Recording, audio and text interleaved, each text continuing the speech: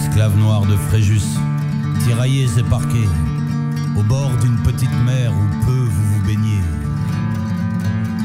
Enfants indo-chinois, jongleurs aux innocents couteaux, qui vendiez autrefois aux terrasses des cafés, de jolis dragons d'or faits de papier plié.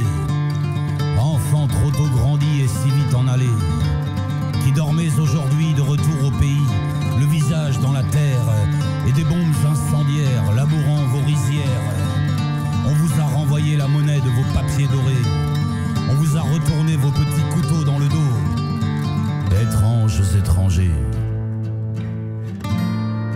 Vous êtes de la ville. Vous êtes de sa vie. Même si mal en vivez. Même si vous en mourrez.